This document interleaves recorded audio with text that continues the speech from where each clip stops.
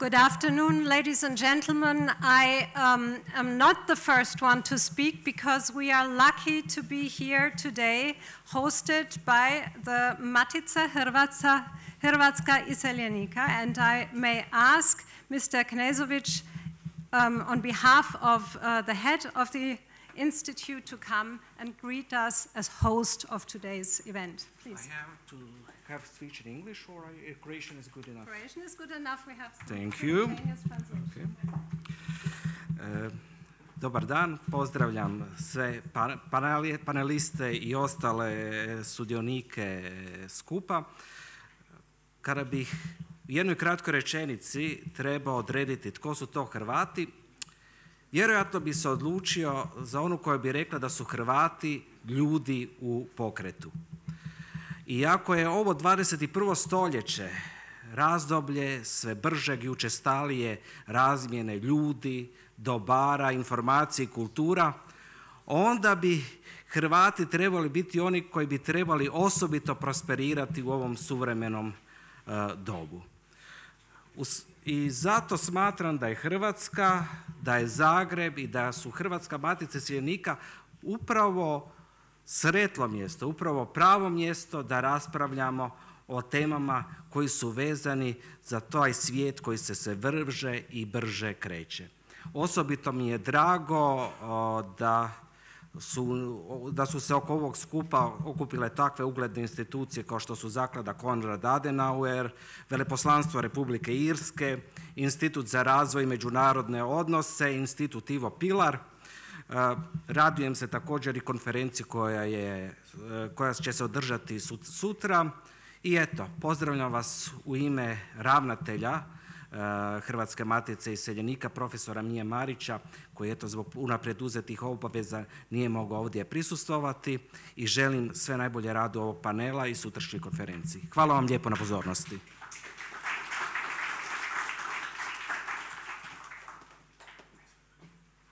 I may now ask to the floor Director um, of Ivo Pilar Institute, Professor Dr. Holjevac, please.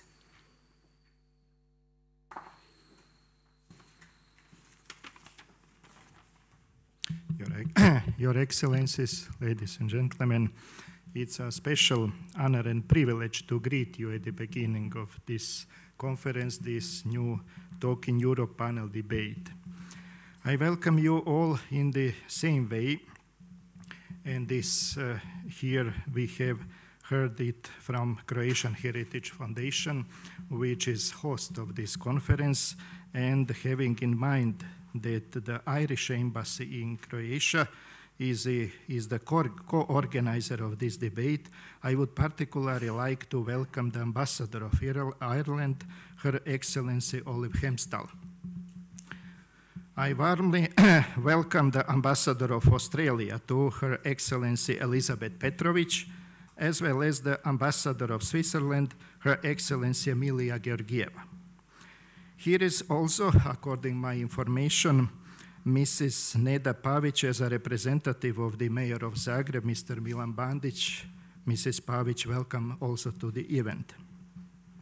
I also welcome other co-organizers, the Croatian Heritage Foundation is a host of the panel, the Konrad Adenauer Foundation, the Institute for Development and International Relations, and all other distinguished guests. Having in mind the importance of European and international cooperation and promoting Talking Europe panel debate series, the Ivo Pilar Institute is one of co-organizers of this panel debate, which is dedicated for the first time out of Institute to remigration and circular migration as a cohesion strategy. The moderator of this debate, our scientific advisor, Karolina Hornstein Tomic, has published a book, excellent book, uh, on uh, remigration to post-socialist Europe, examining the hopes and realities of return of migrants to former communist countries of Central, Eastern, and Southeastern Europe. This panel debate is an introduction to a conference on returns and economic development, also co-organized by the Ivo Pilar Institute and hosted also by the Croatian Heritage Foundation. This will be today, this will be tomorrow here in uh, the Croatian Heritage Foundation. As you know, the conference is dedicated to the Croatian diaspora potential, the Croatians as returnees and development perspectives. I wish to greet all the participants of that conference in advance and to apologize for my absence due to the conference on contemporary migration in Croatia organized by the Ivo Pilar Institute and being held at the same time tomorrow in Vukovar. This plurality of similar events these days shows the importance of migration and remigration for cohesion and development in Croatia and Europe today. On behalf of the Ivo Pilar Institute, in the hope of a successful exchange of knowledge, I wish you a fruitful discussion. Thank you very much.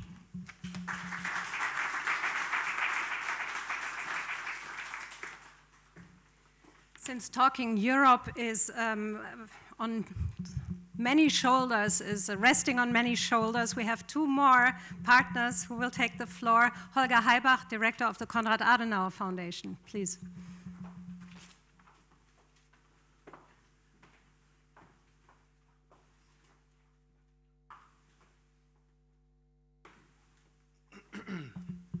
Dear Carolina, thanks very much. Your Excellencies, uh, members of the Diplomatic Corps, foreign and uh, Zagreb guests, and um, everybody involved in this conference. Um, on behalf of the Konrad Adenauer Foundation, I would like to thank our partners, Ivo Pilar, IRMO, and also the Embassy of Ireland, and also the Croatian Heritage Foundation, who host this conference, and we are very happy to be here and um, to discuss this very important matter, not only during today, but also tomorrow. The aim of the conference actually is to bring together representative of um, emitting countries of migration and uh, recipient countries of migration to develop ideas. And I have a personal history with this subject since I worked in Africa. And my second posting for the Konrad Adenauer Foundation was in Chile. And what a lot of people don't know is Chile is the country with the most um, uh, Croatian diaspora members next to Argentina, I think, but you're going to tell us a little bit more about this, uh, in Latin America. And the heritage is very palpable in, in, in, economy, but also in politics. One of the first meetings that I had was with um, the longest standing ex scholar of Konrad Adenauer Foundation, who goes by the name of um, Esteban Tomic. His father, Radomir Tomic, was presidential candidate during the time of Allende, and he came to the country together with his, with his parents. So we have a long-standing tradition of diaspora, not only in Germany, not only in Austria or in Australia, but also in Latin America. But we're going to discuss about this a lot more tomorrow. For now, I'm very happy to uh, welcome you all here, and I wish us a successful conference. Thanks very much.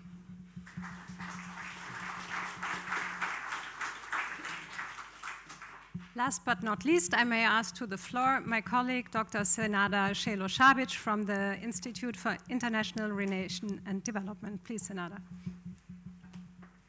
Hvala Karolin. Evo ja ću isto kratko, dragi gosti, prijatelji, kolege, zahvaljujem se da ste došli u na ovu današnju raspravu u ovo vrijeme kad je jako puno različitih događanja i, i aktivnosti e, koje, svi imamo, tako da nadam se da je vrijeme e, dobro uloženo i da ćemo svi izaći e, sa inspiracijom ili boljim razumijevanjem fenomena migracije, cirkularnih migracija i svega ovog drugog o čemu ćemo razgovarati.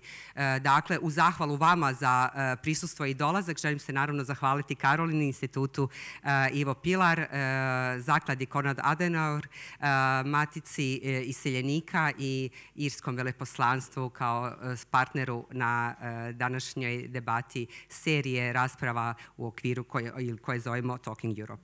Evo, ja dalje neću dužiti, ostajemo do kraja, razgovarat ćemo.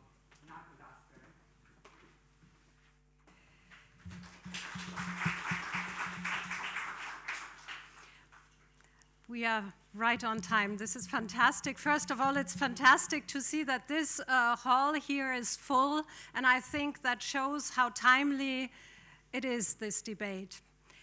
I'm very grateful Olive Hempenstall, Ambassador of Ireland in Croatia, that you brought us a, high, uh, a highly inspiring keynote speaker. I'm not yet talking about you, Martin, just to mention before, but I'd li also like to say it was a challenge for us to do the first Talking Europe uh, this year. It's the third one in a row, but it's the first time that we go, as Director Holjevac said, out of Pilar Institute. But there couldn't be a better place than being here concerning the topic. Therefore, I thank very much once again the Croatian Heritage Foundation for hosting us. This is fantastic. I think it's also very, very um, uh, interesting and great that we are having a deepening of our today's debate tomorrow in a big conference about return migration or return and uh, economic development, which is um, organized by the um, Croatian Studies, and there in particular by the Scientific Department of Croatian Studies and Dr. Jurcevic as the head of that department. Also tomorrow, um, the Institute of Migration is partner in the conference. So again, we have several shoulders to stand on. And um, I think this is a very good example of inter-institutional cooperation that we are performing here in Zagreb. Thank you also, Dr. Holjevac, that you recognize the importance of such cooperation. So I think this is a, a big sign into the academic community, and um, I'm glad to be part of that. Talking Europe aims to break through the let's say, ivory tower of the academic world and um, to encourage debates between different sectors. That's the logic of Talking Europe. And I uh, see that international community here in, in Zagreb has recognized uh, that some impulses really come out of such debate. And this is the intention of Talking Europe, to pick up on topics which we as academics are researching, but who are highly relevant for policy making and to engage with public administration as we do today with um, the uh, um, state agency for Croats abroad and um, with the business sector who will also be present tomorrow at the conference with uh, international agencies and organizations and um, yeah with civil society at large. We need public debates. We need public debates about issues such uh, uh, so so yeah important, crucial, and also medialized as is re and circular migration. Um, so with this kind of format, we try to contribute to a rationalizing of the discourse, to um, yeah, maybe get a bit more calm concerning the temper and the panic and the alarmism around it and to see what actually can be done. I'm sure that many of you spent some times this weekend watching on TV the celebrations in Berlin of 30 years of the end of the Cold War and of the throwing down of the Iron Curtain, of the breakthrough the wall. For me, this was again extremely emotional. And even though we have in Germany the, the, debate that the transition was something that happened in the East, it happened to all of us. We all are the generation of transition. As you, as we are all sitting here in this room, we all witnessed uh, the transition and we have been yeah, seeking through it 30 years now, especially in uh, countries of the region in Central, Eastern, and Southeastern Europe. We know that the transformation processes have been painstaking. They are still ongoing. This is not a story of success or failure, but of both. And it's also a story of ambivalences. Transition is not an easy process or the transformations that go along with it in politics, in society, economy, and in cultural life. And there are lots of controversies about it. There are so-called winners and so-called losers of transitions. We have widening gaps of those who actually made it and those who are left behind. And a lot of the political tensions we see these days in Europe not only in Europe we know, but also in Europe, are fueled by these growing disparities within societies, which we really need to um, take concern in and worry about. Now, migration is an example in place.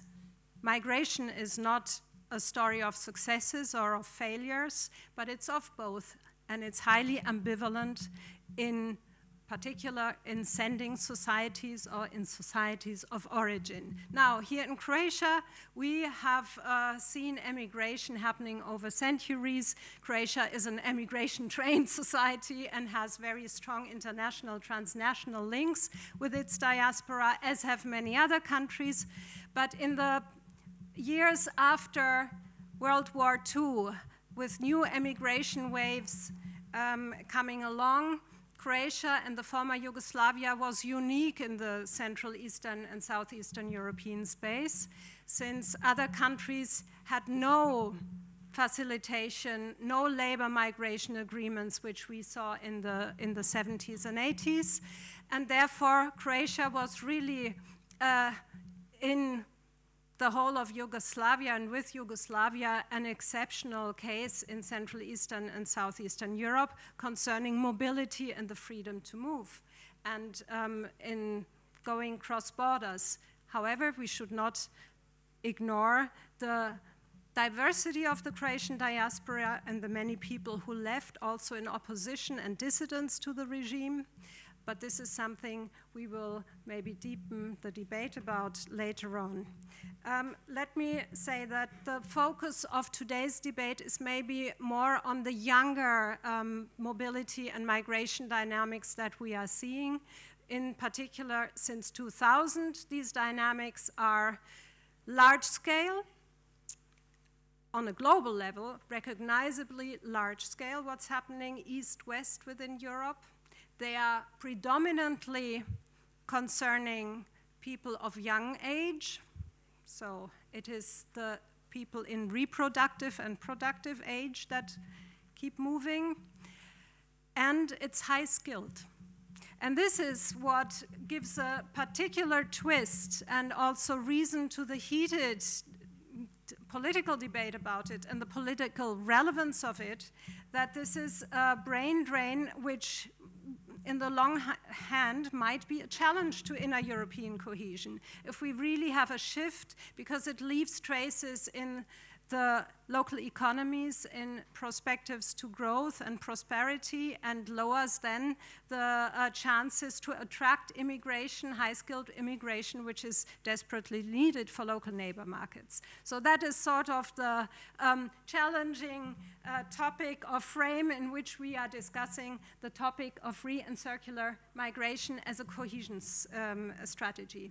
It is no surprise that um, we have also think tanks picking up to the topic. And now um, I will leave you with a bit um, more curiosity. I'm not going to introduce all of our panelists yet, but first of all, our keynote speaker, because um, it's highly inspiring to see what other countries who have not gone through post-socialist transformations, but who also have seen economic decline and economic recovery, how they were actually handling um, the potentials of their diaspora and engaging diaspora and have worked out strategies of engaging diaspora also for economic development. But there's much, much more to it, and we couldn't have a better example, I think, than Ireland. Ireland is um, not much bigger than is Croatia. It has a tremendously large diaspora, and our speaker will explain us why this is so incredibly large. And now let me introduce Dr. Martin Russell. I'm very happy that you came today to Zagreb to share with us your experience.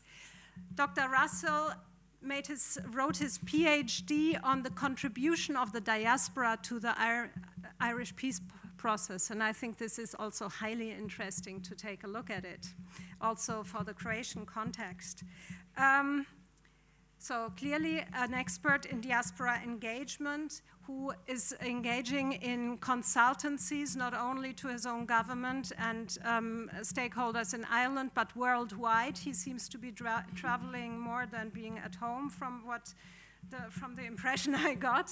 So um, you are, um, Martin is a co-founder of the Diaspora Lab, which he might say us what this is about He looks into the nexus of migration and develop, uh, development globally. And you are also on the advisory board of Future of Work and Woo, Tochka Men. Maybe you are also going to talk to us about this. So, Martin, I'm very, very happy you accepted our uh, invitation. Please come to the floor.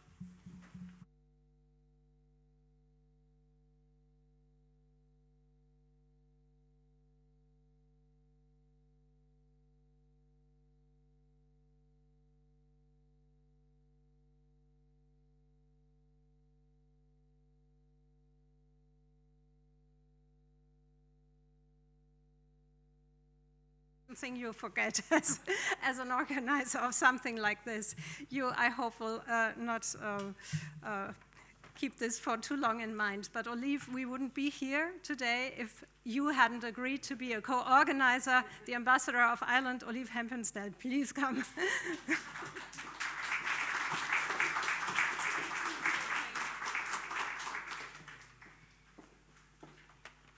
Hello, and um, I really do like to begin an event with a diplomatic incident. So that was very well done, Caroline. Thank you.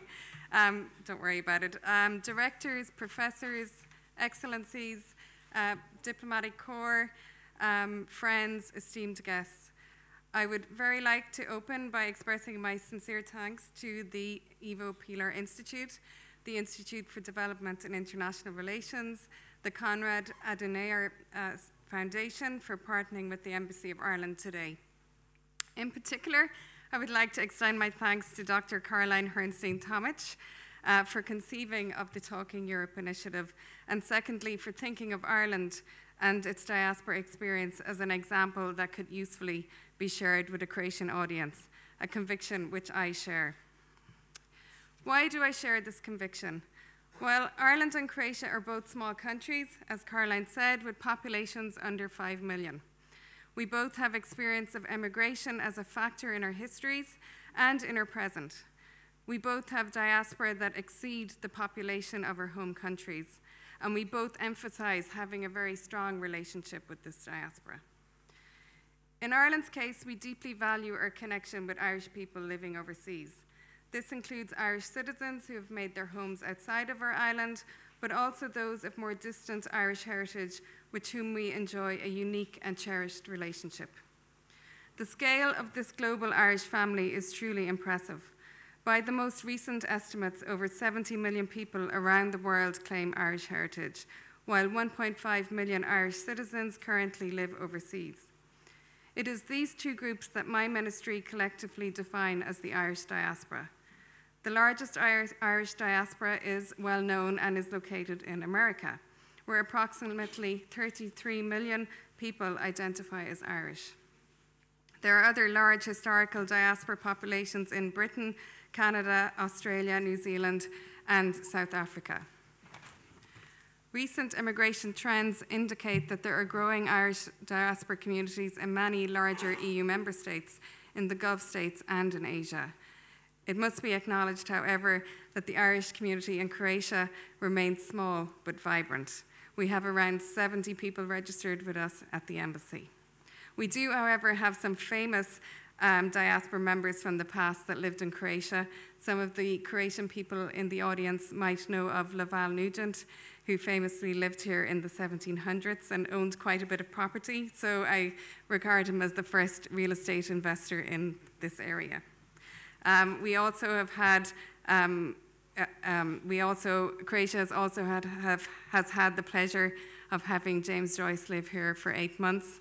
Um, and in fact, when he left Ireland um, and eloped with his, um, with his future wife, Nora Barnacle, uh, Croatia was the first place where he landed. Famously, he didn't particularly like it, but as I often observe, he didn't particularly like Ireland either.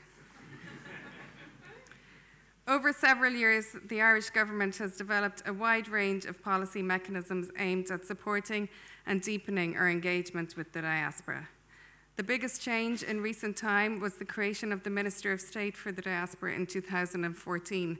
This was 10 years after we opened the unit in our department. This role appointed a minister with the express remit of engaging with the Irish overseas. The current Minister of State for the Diaspora is Minister Ciarán Cannon. His work is supported by my department, the Irish Department of Foreign Affairs and Trade, which administers the Irish government's diaspora initiatives. At the heart of our engagement with emigrants overseas is the Emigrant Support Programme. This is a global funding programme which is aimed at supporting Irish organisations overseas with their work with the diaspora. This year, over 12.5 million euro of funding will be granted to organisations which support the welfare of Irish immigrants and Irish communities abroad. It also provides funding to bodies that promote Irish culture, to networks connecting Irish business professionals abroad. We also have an interdepartmental committee, as all governments do, um, which works on the Irish abroad.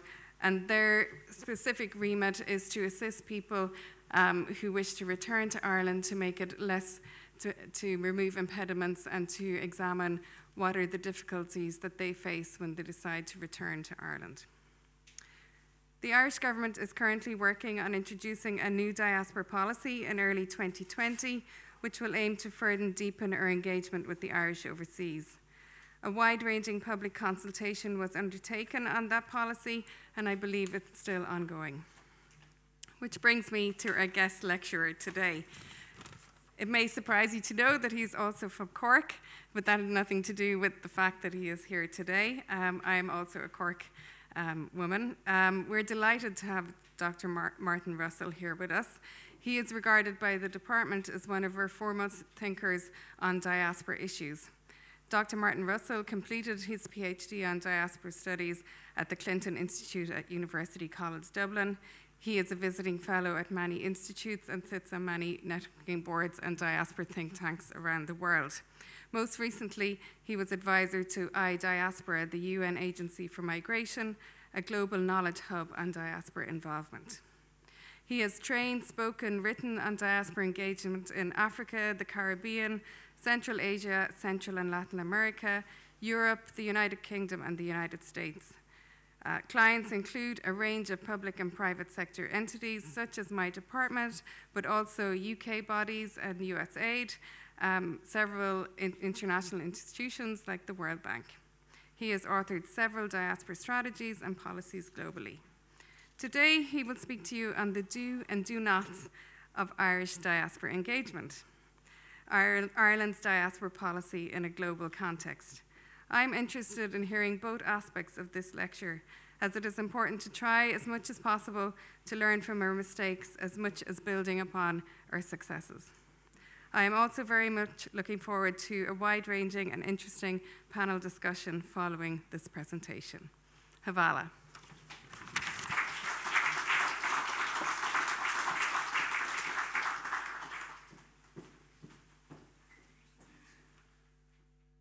Good evening. Good evening. We can do better than that. Good evening. Right, a bit, bit of energy. And just get the PowerPoint up, if possible. The, perfect. First of all, it's great to be here. And I want to say thank you to the organizers and most importantly, the ambassador and the, the Irish government for facilitating the visit. I come from a part of Ireland where we're blessed with a really strong accent. Okay? So I'm going to speak slowly but this is for the translators. If you, if, if you do not understand, just bang the window. right? Look, what I want to do today is, is to give you, and the best way to, to contextualize this is that the best compliment I was ever given was that I'm a reluctant academic. Right? So I want to talk to the academics in the room, but I also want to talk about how you apply some of the knowledge that we learn in the classroom. So I think it fits well with the remit of Talking Europe. So when Irish people first emigrated, the ambassador didn't mention this, and in the spirit of diplomatic incidents, when Irish people first emigrated, we got a nickname, and it was called Mix, right? But we gave out so much, there was a saying, never give a Mick a mic. Right? So you've been very brave to give me the microphone. So I'm going to tell you some stories. I'm a reluctant academic, so there will be questions. So hopefully you will all listen as I go. But what I want to talk to you about is how to go about this, what Ireland has done well, what we need to improve on, I'll also give you some tips about what not to do, and also some tips on what's next in terms of diaspora engagement globally. So if we look at the presentation, it has three aims. To provide context to the rise of interest in diaspora engagement, to provide an overview of Ireland's diaspora engagement model, and global examples of excellence. I should never say this as an academic, and I'm going to get in trouble from the academics in the room saying this, but I'm a founding member of a group called CASE, C A S E. Does anybody want to have a guess what that stands for? Copy and steal everything. In academia, it's called plagiarism. You cannot do it. But in diaspora engagement and consultancy, it's a clever strategy. So we're going to look at what's happening globally as well, particularly three countries, to give you an insight of what they've done. And then I'm going to, as I say, look at what's coming next. So if we click the rise of interest. We go back. The rise of interest. This tells me a lot about the personality of the people I'm speaking with. Do you want the good news first? or do you want the bad news first? Good news. Good news. The good news is, is that the level of interest from governments, international agencies, private sector, philanthropic foundations on diaspora engagement has never been higher. It's a booming, booming industry. Now, we have challenges within that. I would argue that the sector as it stands today is not that professional yet. There's nowhere realistically you can go at a global level to study this topic at a top class level. It's very difficult to talk to somebody early to mid career and tell them this is your career in diaspora engagement. So that's the good news. The level of interest is at an all time high. The bad news most diaspora engagement does not work. But think about that for a minute. Despite all this failure, the level of interest is booming right? So there's something magical in the topic. I want to tell a story that cultivates this and communicates this. This is a true story. In the early 20th century, a scientist made his famous discovery. He went on a speaking tour across Europe. Same driver bringing him around. After about 20 talks, the driver said to the scientist, With all due respect, Professor, I've heard you give that talk for the exact same 19 times. I think I can give the talk. So the professor said, No problem. Went into the next city. This is before technology, before pictures. Everybody knew, nobody knew what they looked like. The driver went up and gave a tour de force performance, standing ovation. What happens at the end of a talk? Questions and answers. So the hands went up, questions. And the driver, thinking on his feet, said, you know what? Those questions are so simple. My driver is sitting in the audience tonight, and he'll be able to answer those questions. and I think that's where we are at diaspora engagement. Everybody talks a good game on this, but very few people have the track record of, uh, track record of impact. So that's the challenge ahead for the sector. And why does diaspora matter for migration? Migration, whether we like it or not, is toxic. People do not want to talk about it, right? Public and political confidence on the topic is at an all-time low. I won't cause too many diplomatic incidents, but we're an island off an island off the edge of Europe, and our neighbour on the other side of the, the pond is going through some interesting issues on migration as well. But here's the beauty of diaspora. Not many people know what it means. We have a joke that the diaspora sounds like two tablets you take for a headache. Right? but there's power in that lack of definition. We need to shape the narrative and the understanding of diaspora to be a powerful force of good for migration. We need to stand up and be courageous on migration. There's not, there's not many courageous leaders on migration at the moment, so that's the challenge. This is my favorite quote. I told you there will be questions. This was written in the last 10 years on diaspora engagement from an Armenian academic and the quote reads Homeland governments and international organizations have quite clumsily sought to develop means to attract more investment and remittances, sell bonds to the diaspora, and generally direct the political and economic capital of diasporas. My question is what's the most important word in that quote? Clumsily. Everybody gets that this is a good idea. the trick is in being professional about how you go about it and building it systematically through process. So, what does it mean and, and we mentioned this over lunch. We live in a world where, look at what's happening around us. Power is still important, whether we like it or not. Connotations, understanding, and retaining power is important. So, this is a professor at Harvard, Joseph Nye, who talked about the world is now gone away from a snookered billiards table model of the great military mights bouncing off each other. Hard power. Most recently, we are in the context of soft power, where the quality of your ideas influences people. And it's evolved again now to, to notions of smart power. And smart power is people to people power. It's about networks of affluence and influence. The next slide is a lady at, at Princeton, if we can get it going. And her whole man mantra is that we're now living in the networked age, where the measure of your power is your connectedness. Now, if you think of it for a country, a city, organization, or whatever it is, the greatest convener of connectedness are your people. That's the same as it is for a country, as it is for a company. Right? So we are now in the age of people power. So the measure of your power is your connectedness. And if you think about technology and where we're going, diasporas now have capital and have power. First thing I was taught as a young academic before you talk about anything, define it. Definition, definition, definition. So I see diaspora capital as flows of people, ideas, and finance for a city, organization, country, I argue that sports teams have diaspora. My favorite soccer team had a lot of Croatian players back in the day. Luka Modric, Vedran Ćorluka. I spend so much money following that soccer team that I see myself as part of their diaspora. I don't live where they're from. I travel in and spend. So think about how you define your diaspora. Because if you have an inclusive definition, different types of engagements will allow you to segment it and build target groups. And of course, people are getting attracted to this topic because of big numbers. Rise of international migrants, remittances. The number one reason why most governments want to do this is economic development. I get that. The debate over the last 12 to 18 months is remittances. How do we get it into investment? Right? Remittances, consumption, investment, a bit more sustainable. Nobody's figured that out, by the way. There's been a lot of money spent on it, but nobody's figured it out. So that's the rise of interest the Global Irish Policy. I am shamelessly proud to be Irish because I think the Irish government do an incredibly good job in this. I was joking over lunch with the ambassador that I see us in the top three in the world. I have a very simple vision for my career to help establish Ireland as the best in the world on diaspora engagement.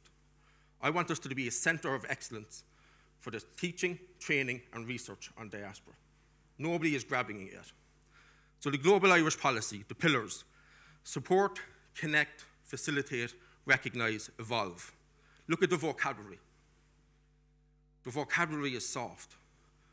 My heart breaks when I read a policy and say, we want to harness the diaspora. We want to tap the diaspora. They're not an animal. They're communities, right? You want to support them, connect them, facilitate them, recognize and evolve them. Within that, when you look through, if we get this going again, I might flip through, but if you look through the bigger, and I'll give you some examples of why the Irish diaspora engagement model works well, particularly three or four. Role of government is the big question. What is the role of government in diaspora engagement? Number one, do you want to implement or do you want to facilitate? Right? A lot of countries like to implement. I would argue that the powerful role of government in diaspora engagement is to be the facilitator light and touch, as Professor Manu called it. We also have a hybrid public and private partnership model to what we do. The Irish government cannot be expected to go it alone on this.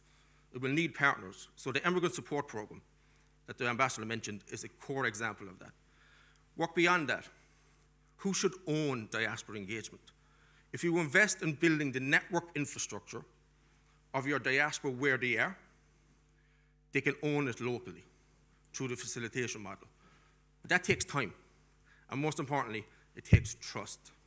So when you work through those issues, the question driving all this is what is the role of government? So, what's the future of the Irish diaspora policy? I've given you the good news, what we do well. And it just breaks my heart to say. And I'm going to whisper it, because I might, I might get chased out of the room. no, no. Diaspora at the moment, for many countries, is not that important. Right? If you think about where diaspora fits in the migration and development nexus, migration is a hell of a lot big top, bigger topic than diaspora is. So we have to make sure that diaspora is coherent to where they want to go in terms of your wider developmental vision. So what's the purpose of what you're trying to achieve, right? I would argue that for Ireland, it's about care, community, and culture, right? Very simple messaging there. And of course, commerce, right? But you have to earn the right to get to the point of the commercial discussion with your diaspora. You can't assume just because they're, they're diaspora, they want to invest back, that they want to give back. You know, and there's an old trick. I'm quite cynical because I have a background as a fundraiser as well. you know, people will never give to your cause. People will never give to your organization. People will never give to your country. People will give to people. Right? We do a lot of giving in our private lives. We give to people. Right? That's important to understand. Other countries to look at. Question number two. Who else do you think does diaspora engagement really, really well globally? Shout some names, countries. Israel, historical. India. Anywhere else? China. Anywhere else? Poland, emerging. The two I'm going to focus on have been mentioned India and China. Their success globally is not by accident. The trick in diaspora engagement is putting it front and center of your foreign policy. Right? And later I'll show you some slides if you want of Modi in the UK at Wembley Stadium. He was close to selling out Wembley Stadium quicker than the English football team. He was close to selling out Madison Square Garden quicker than the New York Knicks. Right? Did the same in Sydney. China. Look at the FDI going into China. And people talk about the emergence of China. This is the re-emergence of China, if you go back into the historical books long enough. So what have they done well? Right? They've built an engagement. Let's take the Indian model. Why does it work? The number one barrier to diaspora engagement is a lack of trust. So in 2002, and I know, this has been recorded, so I'll be sensitive with my vocabulary. in 2002, India realistically had one relationship with its diaspora. India did not like its diaspora, and its diaspora did not like India. So the Indian government said, we're going to go out and we're going to talk to our diaspora. So they created a committee they spent a couple of years talking to the diaspora. They wrote a report. It's 700 pages long. It's available online. Don't read it all. Do the academic trick. Read the introduction. Read the conclusion, and you'll get a good sense of what's in it. right? And they went back and they started to initiate some reforms. Not everything. Now, they were told some tough things, I can imagine. They were probably told you're overly bureaucratic. We don't trust you. Probably told they were corrupt in many ways. So when they went back, they began to change a little bit.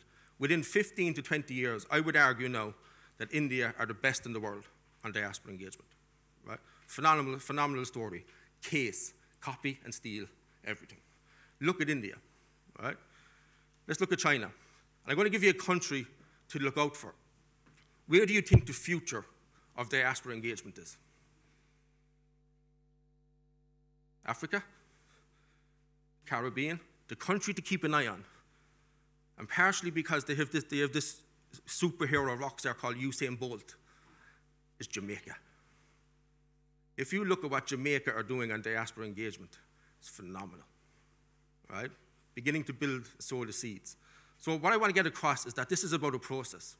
And most importantly, within that, the government is only one cog of that wheel, right?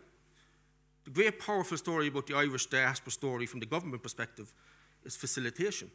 Now, I can share with you hundreds of stories, hundreds of initiatives some Irish, some other. You talk about the Global Irish Economic Forum, the Global Irish Network, the Gathering, an incredible diaspora tourism initiative. They need partners to bring that to the table. But this is a process. So, how do you do it? And somebody please stop me in about five minutes because I want to make sure we have a conversation rather than talk all along. How do you do it? I see diaspora engagement, particularly at a policy and strategic level, as having four key pillars because the sector is not developed enough to go beyond this. It can happen four ways. Institution building, you need to look internally at how you build the institutions that will facilitate. So in Croatia, you have the, the State Office for Croats Abroad. You build internally. Then you look at human capital. So we talked about brain drain, brain drain and the flows of talent and so on and so forth, and bringing them back. That comes second. Then you look at the economics. And the final pillar is on supporting your diaspora. So we can, if you just quickly flip through. Before you get to that, the key question is, and I mentioned at a policy level, is some questions to really think about. What do you want to stand for? What are your value systems? I'm going to hazard a guess, because I've been lucky enough to sit in some government rooms, some private sector rooms, some foundation rooms, mostly at a board level. I'm going to hazard a guess that the winners in the future will think long term and will think more about their value systems than the people that are working in the short term and thinking about their transactions. What you stand for is really, really important. Okay? So there are the four pillars of a diaspora policy institution building, human capital, economic, supporting your diaspora. All right? What do you need to bring that to life? You need to be an academic. Whether, you, whether I said I'm a reluctant academic, but you still need to be an academic. You need people around the room that can think about topics at a complex level and approach them in a complex level. One of the most powerful sentences that was uttered to me about a year and a half ago was a friend of mine who works for a very prominent American bank. And I was in Boston playing the Irish card, getting in to meet people, and I said, What's your big challenge? I said, What's your big challenge coming down the road? He said, Martin, staff. He said, People. I said, Well, you must have people beating a path to your doorway wanting to work for this bank. He said, Martin, you don't get, you don't get it. He says, we don't want people with a finance background in this bank anymore. we want the English graduates. We want the arts graduates that can think about the world in a complex way. We can teach them the finance. right? Really clever way of thinking about where the world is going. So, for your diaspora policies, you need to have that academic critical mindset of how you frame this, how you measure it, how you evaluate it, how you build it through that system.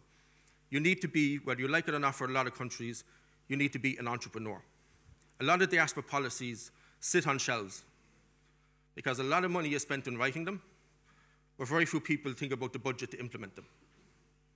Right? So you have to be constantly thinking implementation, budget, budget, budget. So you need to figure out how to make that a reality. You need to be a connector because you need to bring the people around you that need, that need to happen. So they're the skill sets that you need. Right? So tips the do and do not. I've touched base on some of the do's, right? But now I want to talk about the do nots. The number one reason why diaspora fails is fuzzy maths. Great American phrase, fuzzy maths, and the big numbers. The amount of times I hear, we have five million in our diaspora. If we get 10 bucks a month, off every member of our diaspora, this country is fixed. the world doesn't, look, doesn't work like that. Go, uh, the first thing I say to them is, Go ask them for the 10 bucks. let, let me know how you get on. right? right? So fuzzy maths draws people in. Don't get attracted by the big numbers.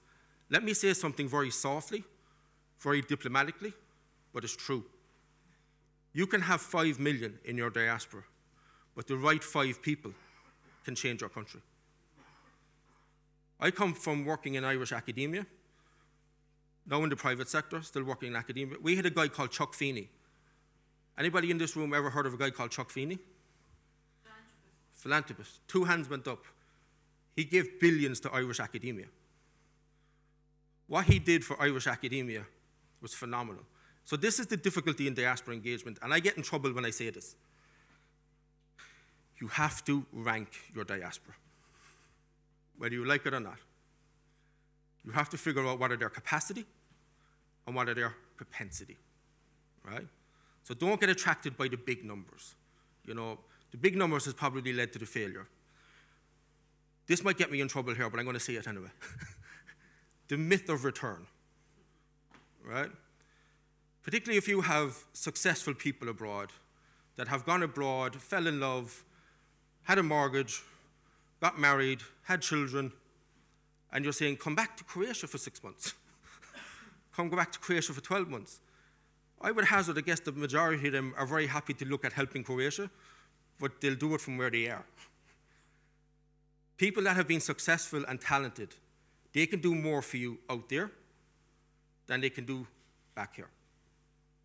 And a lot of governments seem fascinated by the need to get them physically back. It's messy, to be frank.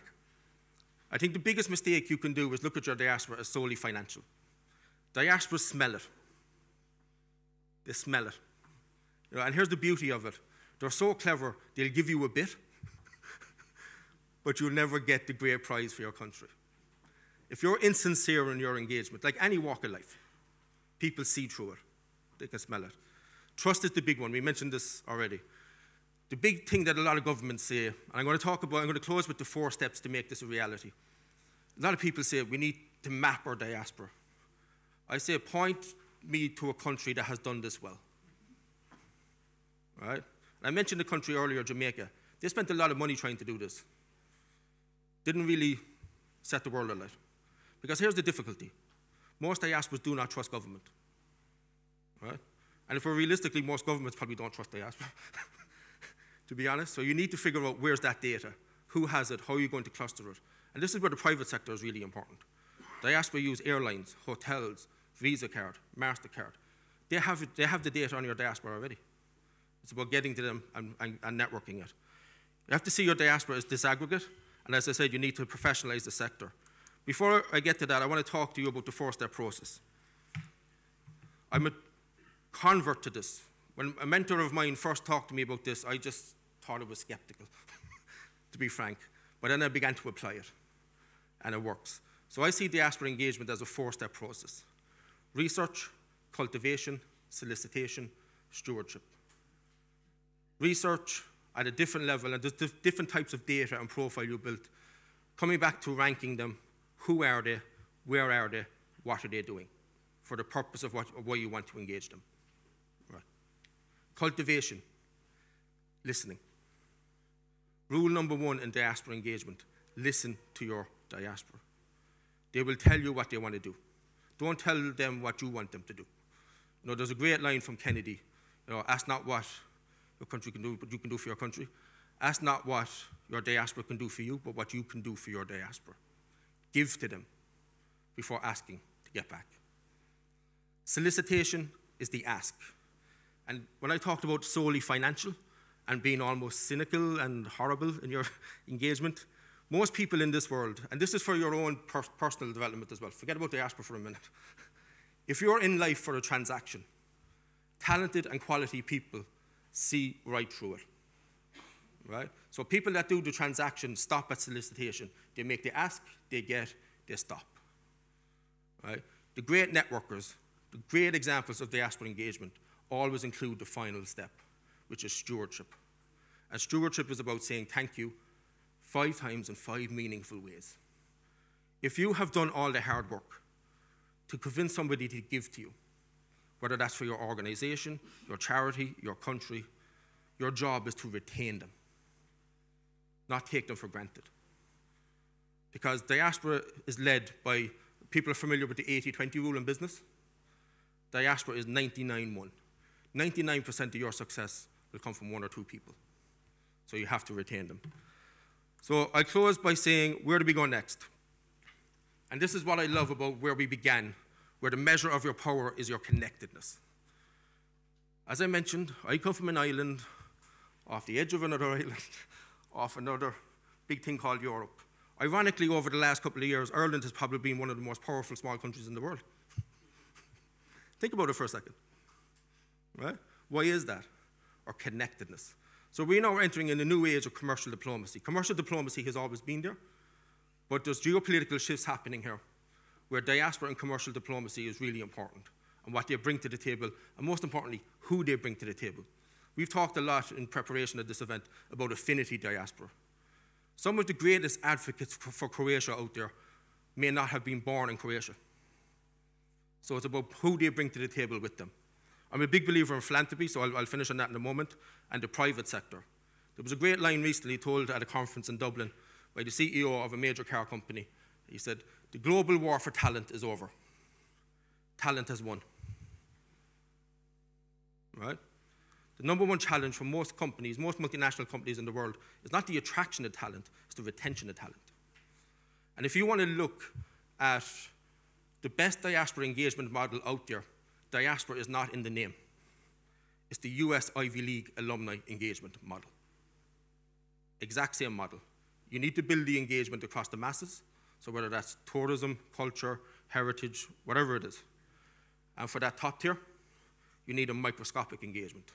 So whether that's to build a new foundation building, whatever it is moving forward. So I want to finish with philanthropy. Have people read about this, the intergenerational transfer of wealth? And this is the cynical private sector guy in me, right? In diaspora engagement, US Ivy League alumni model, they have a great phrase. Everybody's good at getting the ducks in the row. We're really, we're really good at knowing when to shoot. you have to shoot where the ducks are in diaspora engagement, whether you like it or not. So the intergenerational transfer of wealth, this is a report by Accenture, a couple of years old. Can't understand why people haven't picked up in more detail. And this is the US alone. But if you look at the demographic trends elsewhere in Europe, it's going to happen across Europe as well, particularly Germany. In the US, by 2050, which is not that long away, there will be 33 trillion. That's the illions with a TR before it, big number. 33 trillion in financial and non financial assets transferred intergenerationally. Right? So when we talk about diaspora engagement and the rise of interest from international agencies and so on and so forth, a lot of that is immigrant wealth. So I'm going to finish with a story. That money can go to three places.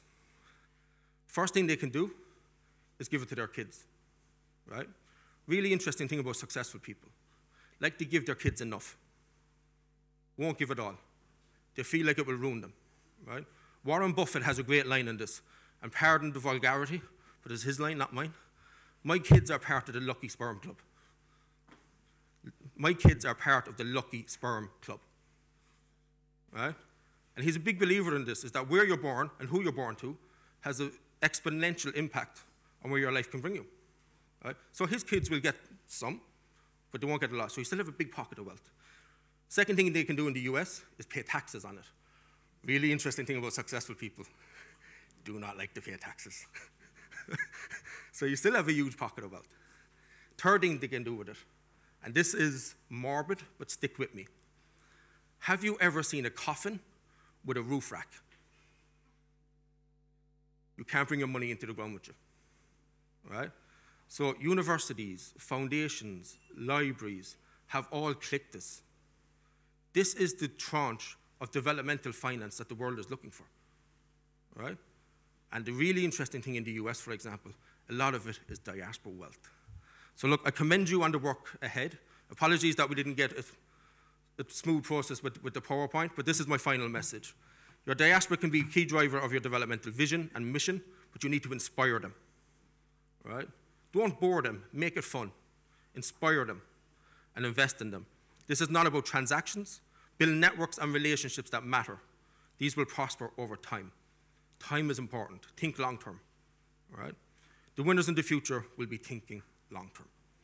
Thank you for your attention. Happy to answer any questions, and hopefully that wasn't too bad.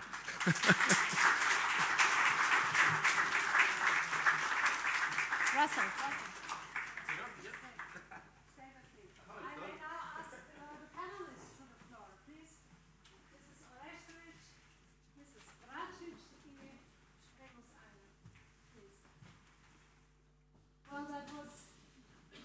Fascinating and inspiring for a whole conference rather than a panel of another uh, 40 minutes that we have. Uh, still, I think we make the best use of our time now. Let me briefly introduce Mrs. Croatiana Orešković, uh, from a counselor with a special position for the issue of the Croatian diaspora at the Central State Office for Croats Abroad in Zagreb. Welcome, Croatiana. Thank you for the invitation. Croatiana um, has, is a legal expert and has, uh, before she joined the office, the URED, has worked in the Ministry of Labor and Pension Systems of uh, the Croatian Republic. So um, interesting work experience here. Croatiana was also uh, grown in the United States, which in a moment you will maybe talk to us about. Um, Mrs. Alida Vracic is the director of the Bosnia-based think tank Populari, currently a fellow at the Institute of Human Sciences in Vienna in the Europe's Future program, which is sponsored by Erste Foundation. Also a visiting fellow at the European Council on Foreign Relations, which was partner in the first of the Talking Europe rounds. A focus of uh, Alida's work is on European integration of the Western Balkan region and a work which is uh, highly in demand and still ongoing. And uh, you have quite a number of merits in this, which is shown in um, the many scholarships you have received. I can't even um, mention all of them. You have a Master of Science in International Public Policy at the University College of London, a BA from Sarajevo Law School, also a lawyer at the panel, and a BA from the Executive Education Program of the Kennedy School of Government at Harvard University. Welcome, Alida. Thank you so much. Last but not least, Remus Anghel, Dr. Anghel is a colleague of mine. We have worked for many years, a senior researcher at the Romanian Institute for Research on National Minorities and director of the Center for Comparative Migration Studies at the Babeș Bolyai University in Cluj-Napoca. Focus of Mr. Anghel's work is on migration and ethnic studies, on migrant transnationalism and return. And um, yeah, recently, or already some time ago finished his habilitation in sociology at the Babeș Bolyai University and has a PhD in sociolo sociology at the University of Bielefeld. Welcome, all of you. I'm very, very happy that you accepted to be with us. Croatiana, you as also part of the hosts here, since we are in Zagreb, are the first one who I would like uh, to share a few of your insights, both personal but also professional on the topic of return. Does return happen? Does it matter? What should we know about return and remigration to Croatia?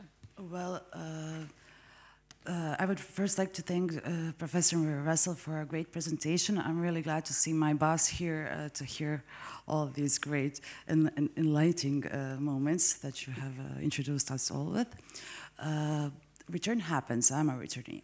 So, and I know a lot of returnees that uh, returned to Croatia in the period of the 90s from diaspora, for, uh, from uh, overseas countries, and uh, we even had a high school class in high school that were the mainly uh, uh, kids from the diaspora because it was a language high school and um, the courses were some courses were held in English. So returnee uh, returns uh, happen, and but they always happen with a reason if they are massive. Um, that's uh, something that uh, is really hard to explain to, uh, to public that you cannot force what the professor said, uh, diaspora are not animals. You cannot have organized returns unless there is a crisis situation in a country, and that's the only way you can have an organized return uh, to uh, the homeland. But, or if there is a big shift in the country, in the homeland, it's inspiring for a return.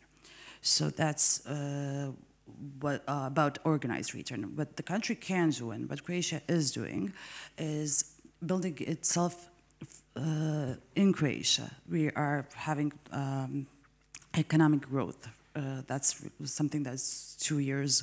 Uh, the last two years, we just got the investment uh, uh, rating, uh, and these are moments that are that are inspiring for people from the diaspora to return to Croatia.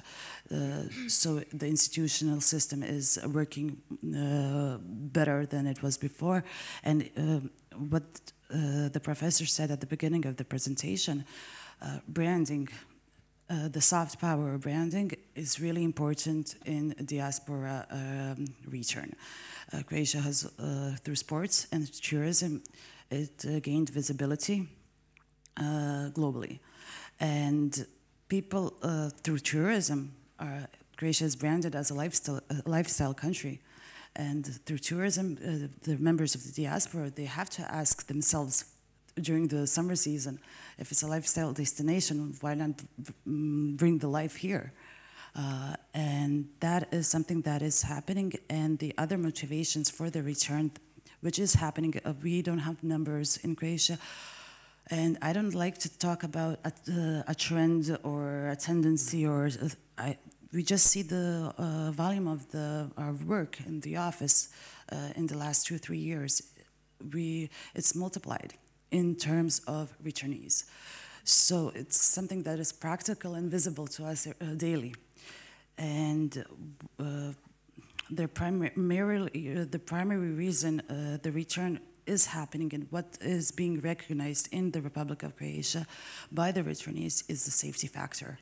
And that's funny because in 1991, when I returned from New York, uh, the same reasons I was, and I'm still thankful, uh, eternally thank, thankful for my parents for making the decision to return to Croatia.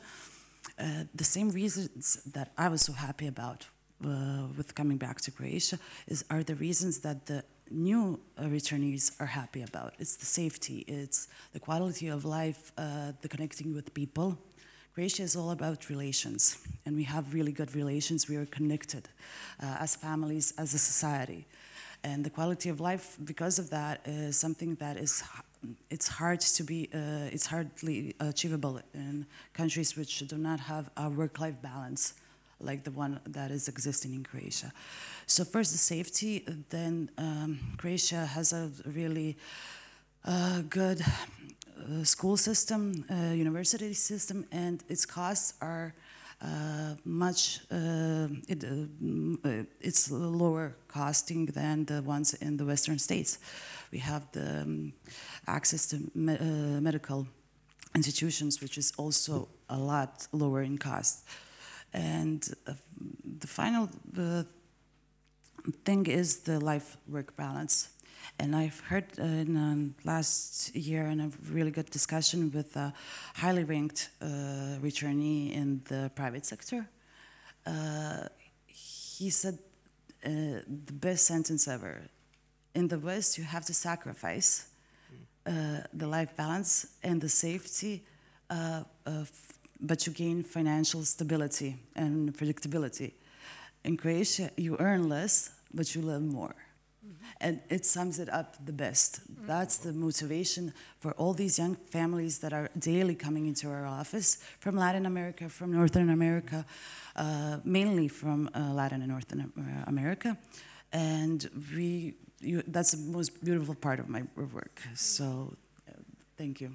So there is return happening, even if it's not uh, huge in numbers, but um, it's clearly also part of the branding of the country, since uh, people who return give good reasons why quality of life is uh, a good argument for actually establishing family lives here what is the um, state agency doing a part of um, in yeah or encouraging return and taking care of people who do want to return in terms of outreach to diaspora? Uh, well, uh, the role we have a welcoming office in the state office, and it's main competency is to help the potential returnees and the returnees that are already here to uh, help them communicate with uh, state institutions, with admin uh, uh, administrative procedures that are often uh, complex in Croatia and not uh, understandable enough for them to be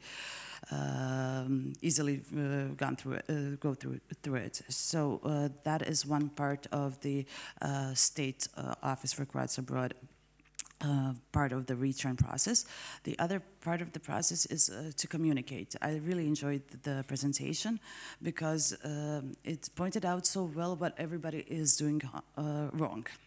and it's, um, Croatia is doing one thing right. We are uh, firm believers in case. so uh, we call it, uh, we are analyzing best practices.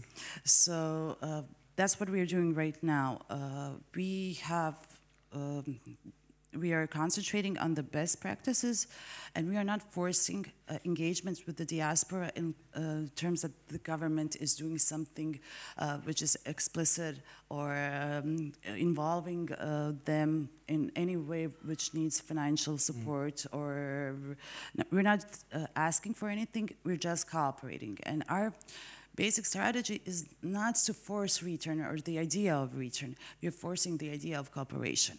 Mm -hmm, mm -hmm. Very interesting. Alida, you have been uh, doing some research and um, also published uh, interesting reports about the uh, research in the Western Balkan regions. And um, in order to first track the flows of um, also return migration, but also out migration, you came across the huge problem of statistics and numbers, which you might also give us a short glimpse into. But I'm also very interested about your take on uh, Uh, presentation here and what's in there, what he's been talking about, um, Ireland's uh, global Ireland strategy, what's in there for the Western Balkans or also here for Croatia? What should we actually copy? Please.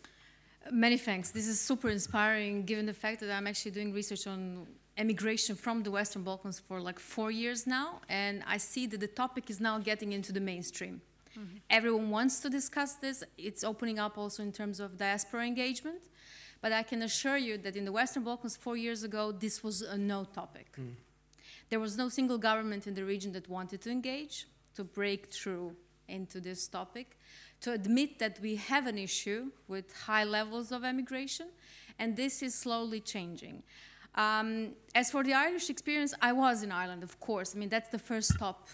You cannot possibly avoid it. And I've spent some time, and I've even published some papers on it, trying to really see what's replicable. What are the experience of, experiences of Irish diaspora, 70 million? And what can be actually, uh, what are the, the best lessons, most immediate lessons for the Western Balkans? And uh, I've, heard, I've, heard so many times this copy and steal thing throughout actually my trip uh, to, to, Ireland that I realized this is, this is certainly a way to go. But there are also some more specific issues that one can take. I will go back to that, but let me just uh, tackle an issue on, on, on, the statistics, and I would uh, maybe take a little bit somewhat critical uh, view on, on what Kroatijana said um, in the beginning. I don't think we're yet there. Maybe the agencies here and there are doing something, but this is a very, very beginning. This is an infancy phase. Uh, at the moment, as we speak, Serbia is trying to open up uh, something called Agency for Circular Migration. There are sporadic efforts in the region but very much at the beginning. And I, I think they're also uh, envisaged in a way that is not necessarily very holistic. We're not connected with universities. We're not connected with institutions where we know these people are being educated with an assumption that they will leave. So this is something to be tackled. One particular thing that is related to the Western Balkans is statistics. We actually have no idea what we're talking about here. Numbers are so, so deteriorated to the point of depending on a source if you look at the World Bank, if they're, because they're, they're following the remittances, you will get certain levels of statistics. If you look at, look at the local statistics, you will get numbers of deregistrations, given that people do not necessarily deregister unless they want a second set of citizenship. So in Boston example, I think it's a case in point. You have in the last three years only 12,000 people deregistered. According to the Bosnian official government, there are only 12,000 people leaving or left the country. But if you talk to, to the agencies and institutions and, and, and, and uh, non-governmental organizations on the ground, they will give you a statistic of 100,000. So you see there is a gap. Um, then you have Eurostat, that I think is well placed actually to synchronize the whole thing, but it, it, this is not being done yet. And also countries, let's be honest also towards the Western Balkans, countries are not necessarily geared towards calculating who is outside, but rather who's inside. So censuses would be the, the primary thing. Where I have found really interesting examples with your agency in Cork is household and administrative surveys that are rather cheap, could be attached to the censuses, and could be actually giving some better numbers, like labor survey uh, uh, surveys that you're also doing. So in, in fact, there are lots, of lots of lots of things that we can um, take a positive twist on and, and discuss immigration or high levels of immigration in the Western Balkans in a somewhat different way, because I think presently it's very one-dimensional. It's the pictures of people at the bus stations leaving. It's weeping mothers. It's no return. And it's, it's a catastrophic disaster. It's international hysteria. At the same time, we have to think about gains, transfer of knowledge. We ourselves are not on the technological frontier. Being in connection with people who are also means that you can get some potential into the country. Um, uh, remittances are definitely important factor, but not only. I mean, we shouldn't focus on it at all. We should get to know our diaspora. This is one thing that I've learned from Ireland: research, research, research. As we speak, there are probably like three other studies being done. And the last I was, last time I was there, uh, you have been developing a study, consultancy study on barriers for the immigrants or actually those that are interested in return. This is something that is not happening in this region. We have no such, I mean, to some extent, but not top down. Governments are not necessarily putting this as their focal point and as their priority, apart from, from institutes and, and researchers like ourselves. So these things um, one, if, if, we take, if, we, if we decide to sort of uh, shift a little bit priorities ourselves, I think there's lots of potential. And not talking about numbers, but Western Balkans is, is, is conservative number of diaspora is six million. And out of those, are probably there are two Chuck Feeneys. So yes, I think there is a lot of potential there. Mm -hmm. Thank you, Alida. Your mention of um, outreach to academia for Croatia, we can at least say that there are programs in place, um, the Unity Through Knowledge Fund and New FELPRO, which have actually done this for over a decade, and I think with mixed success, but at least some success. And um, in some of the institutions, we do have returnees and we have uh, joint research projects, but it's maybe in an infant state, as you are saying. Remus, how is the situation in Romania and um, what would you be able to share with us concerning both diaspora strategy and actual return migration of, or re and circular migration? Does it happen? Is it, can it be tracked? And how does it feed in the local development? Yeah, um, thank you. I, I, was, I mean, starting from Martin's speeches, I started to think about um, how do you perceive, how do we perceive migration, diaspora, and return? And I also, I was backing on my experiences from Romania. Uh, and uh, one of the issue is that very often countries of origin think of migration in terms of getting something, right? So as, a, as somebody coming and it's a, it's a, it's a catcher, right? You, you are receiving remittances, it saves your financial problems. Um, I, think one, one, one, one way to go about it is to, to transfer, to, to change the position from somebody receiving to a kind of collaborator to migrants. Uh, this is something that very often states don't do. I'm coming from a country that during communism, migration was something very bad. Then Romania was in a stage of receiving remittances, and then uh, right now they are thinking about lose, I mean, solving the problems generated by migration. Secondly, all these policies, I mean, Romania have seen in the past years a lot of, uh, I mean, demographic decay, entire regions of the country being depopulated, a lot of brain drain. We talk about one of the largest I mean, migratory populations in Europe, 3.5, 4 million people out of the single country. Um, and people started to complain, of course, as you, as you mentioned already. Um, but we have to think about, on, the second point is to, to, to reconceptualize the notion of return that return is not necessarily the person coming and remaining forever in the country of origin, but a person that can come and back the second time or return back to the country of origin. So we have to understand that migration is a flexible process. It's not something settled. It's not something that people are coming and leaving and returning forever. And states should adapt to that, and policies, not just at the national level, but also at the local level, are fundamental in doing it. So the notion of return and what return brings to the countries of origin is important. And third is a texture. When we talk about diaspora in involvement, diaspora, I mean enhancing diaspora, we talk about a social texture. We talk about bringing people or otherwise attracting people somehow. You gave the example of philanthropists. I come from Romania with the example of returnees. I mean, the largest Romanian business at the moment, it's, it's a, one guy who was in Silicon Valley returned to Romania, has a very small company in a block of flats in a communist part of Bucharest, and now he's the largest Romanian company working in automatization processes. So we, basically you have to adapt the kind of migration, return diaspora to the trends and dynamics of the global economy. And this is something a bit more difficult, but at the same time countries, as Martin said, should enhance that and not intervene strongly. Um, thirdly, and I think it's a kind of plea for the future, um, return to Romania or the Romanian state didn't focus only on I mean, the effects of migration were widely debated in the country. But at the same time, uh, the country started to receive immigrants. So in a country with strong out-migration, there will be also immigration. And we have to understand ourselves not as a national container, as we've been for 25, 30 years of communism, but as also as countries that will transform through immigration also, so to have to adapt to this variety and basically multi-ethnicity that will come. Mm -hmm. Thank you. So um, the dynamics of um, re and circular migration are actually blurring together with immigration, regional immigration dynamics, but also international immigration. Is there something else um, from Romania you could share with us? How does this correlate with um, economic growth, recovery? Are there good examples or are there examples for regions where it doesn't work at all? Um, that took, took things to talk about.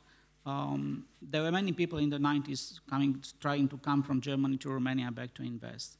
But the context matters. So mm -hmm. they came and failed. So whenever we talk about diaspora engagement return, we also have to consider those who fail and to understand why did they fail. Mm. So the context matters and it's important for them to have something constant to, to rely on. Um, secondly, uh, starting from the Romanian I mean, context, but we also we see it also in other parts of Europe. We live in, a, in, in societies that are transforming, where inequality and regional inequality is very much increasing. So in the same country, we see very poor rural hinterland and 40, 50 kilometers away a vibrant city offering everything. So from my research, I've seen that more kind of settled return occur where economic development was. It could be a kind of intuitively we think that it is true, right? We will go in this direction. So basically, um, yeah, I, I, think return is much more uneven process. It doesn't occur, occur, everywhere the same. If we want to save the problem, I don't know, in Split, and you have the growth in Zagreb, uh, perhaps this won't go in Split, but will work only in Zagreb, right? Mm-hmm. Uh, so more kind of nuanced understanding, on the one hand, of the effects of migration, but at the same time on, on the current and future processes that will go on, right? Um, and I live in a city that it's, in, I mean, it's very strong internal migration, but also return is it's particularly mm -hmm. strong. Yeah. Very intriguing. Alida has pointed out, uh, you've pointed out the importance of knowledge and of research, and also you've been uh, stressing this several times just to know about um, what's going on. Concerning Croatia, I'm happy that so many uh, colleagues here in the room are actually also researching such dynamics. So we have quite a strong um, body of, but of course, not sufficient and needs much more to, to be done. But what do we know about the main obstacles today to return? I would like to get your perspective, then also yours, Alida. First, First uh, Professor Russell already mentioned that, uh, the main obstacle. People have formed lives in the diaspora. And uh, mm, if you put the patriotism aside and everything, you still, if one of the, if one part member of the family returns to Croatia, a child, mm, grown member of, I don't know, 20 or 30 years old, he leaves his sister, he, leaves, he is leaving his mother, who, is, who was once a foreigner, and who, uh, whose whole family is in the diaspora country. And she is again uh, sending her child to be a foreigner in his home, in her homeland. It's a very uh, psychological, it's very uh, a hard process. And that's the first obstacle, uh, the, uh, the families that are uh, built in the diaspora countries. Uh, and the second obstacle, even when we pass through that psychological ba barrier, is the I would say the state, the administration the, um, uh, the, the, different way of doing business. And uh, that's why I said it in the, the first question. In the last few years, uh, things are changing in Croatia. The uh, presence of multinational companies is bigger and bigger. Uh, that is a business frame which is more common and familiar to the diaspora, uh, diaspora members. So uh, when international business comes and mm, to Croatia, when it came to Croatia, and when it um, blooms as it has in the last few years, it's also uh, a motive for the, uh, for the for the professionals from the diaspora to come and try. It's not obligating, uh, as you said. Uh, it's a circular uh, migration, but it has it has better chances of the final return than it than if the only initiatives for in the business circles are from the state or the local businesses uh, or the regional or the state businesses. Mm -hmm. Halida, how do you see the matter? Slightly different, to be honest. Um, I think there are more, more obvious and less obvious reasons why people want to return. Most obvious are the ones attached to the socioeconomic preconditions. So if you're a doctor and if you're living in Croatia, you earn a certain amount of money and you're living in certain standards. But if you uh, if you do the same job in Ireland, you will probably get more money and you will have a little bit different setting in which you operate in because your overwork hours will be or extra hours will be actually paid. Uh, uh, uh the safety net is somewhat different. Less obvious reasons are related to how people feel in their own country. If you look at the indexes, if you look at the uh, regional council, uh, uh, cooperation council uh, survey that, that is being done every year, huge numbers, huge percentages of people feel dissatisfied. This is why they want to leave. They feel frustrated because high levels of corruption. They feel that their religious freedoms are being threatened. They feel that they have no um, power over what's happening in their governments. They have no say in how the country is being created and how the country is being moderated. Um, all these reasons are difficult to pin down because there are no right surveys that, are, that can be done in, in order to, to, to, provide exact numbers, but the feeling overwhelmingly is there. Mm. Like 40% of, of people from Bosnia want to leave and never return.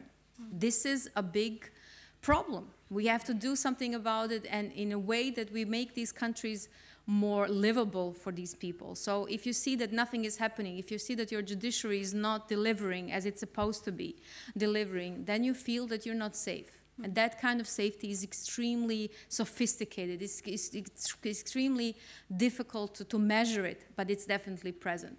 Western Balkans is, is especially uh, tricky and, and very complex because you have six countries that are trying to become European members. And this process is going on for 20 years. There are people that are now 20 and in their early 30s that are still waiting for something to happen. And the option is really easy. The choices are, are actually quite important there. Either you're going to wait another 30 years or you're going to leave now. If you look at the socioeconomic uh, indicators, World Bank report says the following. If we continue to grow, and Croatia is not also far away from the story, if we continue to grow with the same growth rate since 2001, we're going to converge with the European Union level in 60 years' time. 60 years' time. This is a more, more optimistic version. Less optimi optimistic version is 200 years. Mm. So you have to put numbers in place. It's not growing. It, even with the growth level of 6%, we would question what would happen. European perspective is not there. Even if it's there, there is a, this, this uh, overwhelming myth that you know once we get into the European Union, once the six countries get into the European Union, everything will be quick, uh, quickly fixed overnight. This is not true, and Croatia is posting point, point in case because Croatia um, experienced departure of more than 200,000 people since its membership since 2013. So people are leaving. You cannot keep, keep people just by promising them European values and dreams if they're not actually there in the country. And I think we should be discussing more honestly and more profoundly these sophisticated reasons and, and for, for people leaving but also not returning. And I would here just like to add that, that circular migration is one of the things that I'm also trying to propagate, if you will, and, and, and I'm trying to, to, to pursue it in a way that people understand that not everyone will return. It's fine. People don't have to return. It's human mobility. I mean, this is one of the, the core points of the of, of the EU, if you will. But we can attract people in different ways, in different shapes. If they can come and give a talk, it's already something. If they can come and spend a couple of months at the, at the hospital, in the hospital, and, and doing some amazing work that we haven't seen so far in the region, this is amazing. These kind of things should be encouraged, and I think then we, we get to the point of discussing it properly. Mm -hmm. Well, that was a, a, a rather um, dark uh, picture you were sketching, which we should acknowledge that uh, it is uh, something to be tackled and to be addressed. Mm. Maybe we also sometimes can look at positive experiences, and you have a global experience yeah, yeah. also from transformation contexts which are not in the European context. What could we take from, uh, from there? And does diaspora outreach actually matter to the issues that um, Alida was now pointing out, or is this um, on well, look, I mean, look, I, I'm quite a simple beast, you know, behind it all. Don't overthink this stuff. You know, I think it's important. Let, us come back to two or three comments. Right? I think first question you have to answer internally is why are we engaging them? And have a very clear answer to why we want to engage our diaspora, right? Because then you start with a blank canvas. So research is incredibly important, right? The Irish government has invested in research, and particularly when you talk about issues of barriers, whether they're attitudinal, structural, so on, where are your diaspora going to feel most comfortable telling you those issues? It's not going to be in an embassy. It's not going to be in a consulate. Yeah. So how are you going to get them to a comfortable point of helping you? Look, I'll share a story from the work that we did with the Irish government. So we have a lot of vulnerable people in, in the Irish diaspora, and what I'm most proud of in the Irish diaspora story is not the FDI story. We can bore you to death with that. we can tell you 100 stories of Coca-Cola, Intel, Facebook, Microsoft. We can tell you those stories. But what I'm most proud of is how we engage our vulnerable members of the diaspora through the Emigrant Support Programme. So when we were doing that research in Boston, I knew if I held a workshop in the Boston consulate, they're not going to come through the front door, the people that are most vulnerable, because they're nervous. Right? So, ironically enough, being Irish, there's an Irish bar just down the road from the embassy. Went in, got talking to the barmaid, and I said, I need to talk to the people that are most vulnerable, the undocumented Irish. So it was through her that I got to go down and meet those people, mm. right? So research is important. So when you answer the question of why you're engaging them, because to engage them to find out that research is a fundamentally different engagement for economic development, mm-hmm. Mm-hmm. right? So you have to figure out why. And this is just a, a fact of life, whether we like it or not particularly if you go back into the economic development side of things and so on and so forth. And you mentioned multinationals and the business, the culture of doing business and so on and so forth. I say this as somebody has worked as an entrepreneur as well. Nobody wakes up with a natural inclination to give you their money. World does not work like that. So, and what the world does not wake up with a natural inclination to give you their money. So you have to work at it. So there's a bit of a confusion, I would argue, in the sector as well, is that we see this diaspora as a community. And they are, they are communities, but, but who do they have around them? You know, your diaspora for economic development can become tipping agents. And this is where I can tell you the stories of FDI. Diaspora members sometimes are happy to leverage the institutional wealth and connections around them rather than their individual wealth and connections mm. to help you on your road ahead because it's a way of testing you to see if the system is ready. So let's take company X. You have somebody in Croatia, relatively senior executive position, Croatian diaspora working for them. If there's a viable investment opportunity in Croatia, it might be that you target them for company X rather than the individual themselves. So it, it's about, as I say, driving all this is why. And then start with a blank canvas and think of it as your board. Who do you need around the table to execute this? And I want to stand up for government here, right? I know that mightn't be popular in a lot of rooms, but I want to stand up for government. Governments cannot do this alone. And the really good governments that do this well realize that very early. They need researchers. They need the community organizations if they're dealing with, with, with, the vulnerable people. They need the business networks if they're dealing with the, the C-suite level people. So you need to figure out, and, and think of it, I, I, mentioned it earlier, I didn't want to push too hard because we're not there yet. We need to professionalize it. Mm -hmm. You know, we need to hire talented people and pay them well. That's why we do regular in our business. People say to me, How are you successful in business? Hire talented people, pay them well, and the business, if it's good enough, tends to look after itself. so I wouldn't overthink it. May I just add one thing? Uh, I think this is super interesting because there are also push factors around that, that we haven't really talked about, but I think it's really important. In the Western Balkan case, and here's me joining you in this standing up for the government, the reason why is that governments are really limited to some extent in what they can deliver. And reason why they're, they're especially uh, vulnerable and, and limited in the Western Balkans is that you have big economies that are aging and pulling these people very aggressively into their, into their yard. And here I'm especially talking about Germany. I'm talking about Slovakia, I'm talking about Austria, I'm talking about all the countries that are surrounding the region that really are in need of doctors, nurses, teachers, engineers, IT specialists, whoever. And if you look at their projection, how many old people will they, they will have in, in 20, 30 years' time, it makes perfect sense that there are limitations on this side to keep people at home because what they offering is of course a little bit better than, than at home. And this is something i think it, it's a part of the european context. Mm. if you know that the western balkans is standing uh, uh, uh, in, in, in a sort of vacuum in between if you know that there is an exodus happening and if you know that these people are needed in order to rejuvenate country and actually make it more energetic, I think it's in interest of the European countries, such as Germany, to actually balance its own sort of uh, uh, uh, uh policies regarding getting people into the country and regarding immigration policies. Yeah. At, at, the moment, you have ministers that are openly saying that they want all Bosnians, Albanians, basically coming and, and, and acting as nurses and doctors.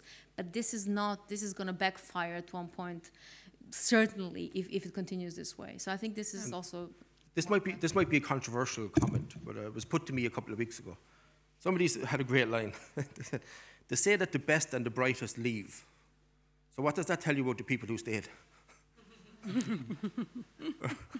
right? It's, it's a controversial comment, but you it think... No, no, brain drain is, is a really bad, bad way to put it because it implies that all those that are staying have no brain. Mm right? Yeah. It's, it's really bad way to put it. But this is maybe also part of our um, task to professionalize the debate a little bit and also yeah. to look into who has actually been coming back because these yeah. are very bright and successful people who actually put maybe career considerations aside and still returned or decided to come and so on. But however, it's very important that you point out the cohesion challenge for the whole of the European Union. So do um, such labor um, recruitment programs that Germany has very tar targeted immigration um, policies actually backfire in the long run if we are losing the doctors and IT specialists in other parts of Europe. So is convergence actually rather in 200 years happening than in 60 years if this is continuing like that.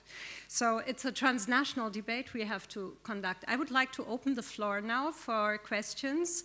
And um, you have a moment to think. No, there's no more thinking. You have been thinking. So I take the first question, please, here on the floor. Say briefly who, who you are and who your question or comment goes to. Mirjana Cupek Hamile, and I don't uh, represent anyone, just myself. you know, I'm not here from the institution. I have two questions, one uh, for Dr. Russell and one for Graziana. And I, I will start with Graziana. Uh, can you tell us about numbers of returnees and the average age of the those people who return to Croatia? No, unfortunately, uh, the Croatian legal system, the uh, Croatian laws, have um, uh, a problem with uh, registers and uh, immigration and immigration uh, yeah. Balance uh, uh, registration.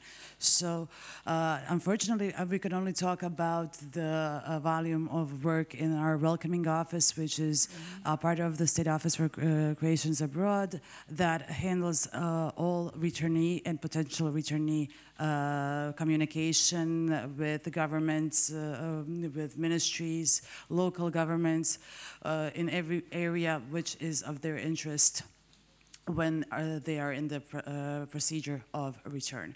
Uh, so we do not have classic numbers because it's the it's the same problem with immigration. We do not have we don't have good numbers in as Alida said in that uh, in that uh, uh, field also because the state uh, uh, the uh, state registers uh, and the Croatian diaspora when uh, they have the uh, uh, they have their uh, uh, they have their address in Croatian in the Croatian uh, legal system in Croatia, although they live outside of Croatia. Double residency. Yes. Uh, mm-hmm. uh, uh, so they it's really hard to uh, uh, register when they have returned since their address is continuity mm-hmm. in, con uh, in continuity the same. So that's the, the, the, problem with the legal system with registering the return or the emigration outside of Croatia. So you cannot say about the average of uh, uh, no, age, can, we can talk. Know, uh, yeah. Uh, we can talk about the volume of work in our uh, registry, uh, in our welcoming office, and we have registered that the number of of Croatians returnees has multiplied in the last two years, two times. And do we know about every the age? age average, average age. age. I'm sorry, yeah, I haven't yeah. heard. Uh, the age, the, uh, they are the students from the Croaticum program. It's a university course for the Croatian language. And as a rule, uh, if people uh, go to two semesters, it, there is a possibility of two, three, or four semesters. Uh, students who uh, go to two uh, take two semesters on Croatian universities to learn the Croatian, they usually stay. And it's a student uh, age, about mm -hmm. 24, 25 after universities abroad.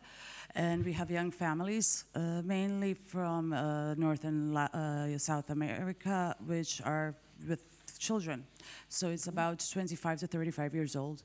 Th those are our most uh, recent uh, age groups. We have a lot of returnees, but I'm not even including them in the speech. Uh, we have the, the, uh, the, um, retire, uh, the retirement returnees, mm -hmm. but they're mo mostly, uh, in terms of the office, they're mostly interested in the tax system and uh, we just had a big uh, tax reform two, two, or three circles, and the taxes are really lower on their pensions, uh, so they're uh, more motivated, uh, motivated, but that, that was their only uh, need for talking to the office and getting assistance. So. Okay, thank you. And now for Dr. Russell. Uh, what do you think about giving diaspora political rights? For example, right to vote. And is it in the category of do or do not to diaspora? and as far as I know, uh, Ireland doesn't facilitate you know, that right. And uh, I, as an Irish citizen, cannot cannot vote here, for example, and as a Croatian citizen, I can vote in our embassy in, in Dublin, you know, of, mm. when we have elections. So you want, you want to get me in trouble, right? yes, yeah. Look, uh, it's obviously on the agenda to come up in Ireland in terms of a referendum. Um, my, my honest and quick answer to it is I think the debate in Ireland could be quite messy.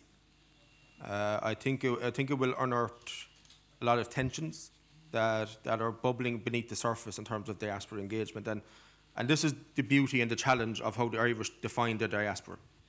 You know, and it ties into something that will definitely get me in trouble when I say it, so I'm warning people before I say it. The, the biggest challenge for diaspora engagement going forward inside Ireland and outside Ireland is that word called migration. That is the biggest challenge for diaspora engagement. Migration and diaspora are different. So I'm a big believer that migration is the language of borders and identity, but diaspora is the language of belonging and affinity. Right? So they're two different beasts. They're almost like first cousins. So I'm coming back to the question, don't worry, I'm not ducking out of it. I think in Ireland we've had we've developed an incredibly inclusive definition of our diaspora. When you talk about 70 million. Global Irish. The global Irish, right? But when you talk about extending political rights and voting rights, it will need a different definition. Mm -hmm. And I think that's where the challenge will come. And what definition would it be? It'll Did you think of it? It'll, it'll be tied to passport holders and citizenship as, as far as where it stands in terms of legislation at the moment. And I think that will also cause a lot of tension in the communities out there, particularly where, and the Irish model is, is different in the sense that we have an incredibly mature diaspora. Our diaspora has developed over centuries. So I think in the US, the last household survey was like 34.5 million. Pick the Irish American box. But I believe we've only 100,000 Irish in America. Right? So they are two different communities. So I'll, I'll, I'll put my neck in the line. I, I'll be voting no. Um, you know, and that's my, my honest opinion on it. I think there'll be a lot more people will vote no than we think. Uh, so I'm not looking forward to that debate. Because, and the reason why I say no, when you look at what happens globally on it, what tends to happen is that the lobby for the vote tends to be a lot stronger than the turnout for the vote. And that's where my concern would be. So I will direct you to, I wrote research on this in 2011. I haven't updated it since. It's available for free, so you get a sense of my opinion in that piece without explicitly saying it. So I don't know if that's the answer that you wanted. Yeah, yeah, yes, but, yeah, it's, thank but you. it's, it's, an answer. okay, thanks. We have uh, in the last row someone who would like to take the mic. Yes, thank you very much. Uh, my name is Bruno Rukavina, and I'm from Ministry of Internal Affairs, and I actually enjoy this topic, and I actually read a lot about it, since my generation is many many people from my generations actually left the country and emigrated in other countries. So first of all, I have two questions. One is, what can Croatia actually do or should do uh, to be more attractive or to not only for diaspora but for the other peoples also, like Irish people even or Germans or others, uh, to come and live here or at least to have some kind of connections with people? Is there any smart power that we can do? Perhaps, you said it yourself, the perfect work and life balance. And second question is about that drain draw that we talk about from Croatia, although it, it is a term that is used, sorry if it's not correct one. Uh, well, but that uh, brain draw, drain, uh, I actually wanted to leave the country in one moment and I wanted to find a job somewhere else. But mainly but, but people with my qualifications, like from social studies, cannot find their jobs in their studies in what they actually learn from in other countries. Not that easily, anyways. So my question is, how many people actually that went out work the job that, which they studied? Not just doctors or like uh, technicians. Thank you very much. Who's the question for? Oh, yeah, uh, everyone, actually anyone. Everybody who would like to who answer. Like to answer. Like Thank to you. Take here. What can Anybody is. I've spoken a lot, so no, no. What yeah, no. Look, yeah, yeah. Look, in, ter in terms of, of, of, what Croatia can do to be more attractive, and I don't know if our colleague from Australia is still here, but there was a former Australian Prime Minister who had a great line, and he said, um, "In the great race of life, back self-interest, because at least you know it'll be trying." All right. So I think you have to figure out within your global community what networks are important to people, right? And across, we meant, we've hinted at it across the panel, but I'm a big believer that life cycles are really important in this, right? So people that are at different stages of their lives will have different motivations and so on and so forth. So that's one thing that Croatia can do. We can invest in them. You know, an investment doesn't necessarily mean financial. The role of embassies and consulates, they have a convening power. They, they have, they're normally the first point of contact for diaspora communities. So I would say build the community infrastructure out there and add value to their life out there, right, before you begin to engage. Another area that's becoming really interesting, and I think our colleague from Romania hinted at it, is, you know, we talk about the Croatian diaspora. I've no doubt that the people living abroad from Croatia are really interested in where they're from in Croatia, not necessarily the nation. So I'm from Ireland, but I really care about Cork. When I was living abroad, I wanted investment to go back to the place where I'm from. So locality and what people think about you and your nation brand and your place brand is really important. So if you want a little example of how this plays out, you know, there's an incredible city in Denmark called Copenhagen, right? And everybody smiles when you say Copenhagen because it's edgy, design, people love it. So Copenhagen had a really simple idea a couple of years ago, or 20 years ago at this stage, to create what they call the Copenhagen Goodwill Ambassadors Program. So this is an invite-only network of 50 to 70 people of relative success across different disciplines. So academics and social sciences, to your CEOs, to your artists, to your cultural curators, invite only network, and their only job is to promote Copenhagen abroad, wherever they are. So previously, he's moved now, but the previous Copenhagen Goodwill Ambassador in Dublin was the CEO of Volkswagen. Really powerful guy. So whilst he was in there in Dublin, working for Volkswagen, he really had a Copenhagen hat on. so that can happen for any city, it can happen for any country. And this comes back to the question of why you're engaging them. Think it, just answer this question, and you don't have to answer it now. Answer it when you sit around the table. What are we asking them to do? And if you don't have a very simple, clear answer to that, they're never going to understand it. So think about what you're asking. So I think that's what Croatia can do. What people think about you is important. So, so your, brand, your, your brand is important. So. Mm -hmm. Remus, do you have any uh, suggestions or how does Romania deal with it? Is there a sense of locality? Are there people connected to the local communities? Is tourism or a tourism industry actually trying to cater that kind of branding uh, need for a country yeah, um, in the diaspora? Yeah, I wanted to say about two things because they were raised here and also this one. Uh, what is going on there is in the southern Transylvania emerging a sort of branding Mm -hmm. um, and we had a situation of former ethnic Germans from Romania who left this place and uh, they left uh, medieval fortresses and cities.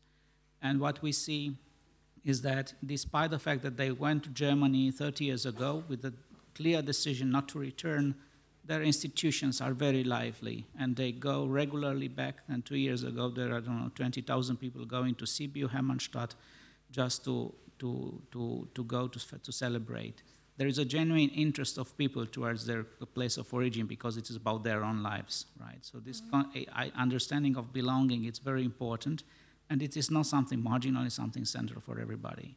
So uh, from here on, it depends very much on the assuredness of very many governments and of context, right? Um, a second thing that was raised here also related with the brain drain and migration.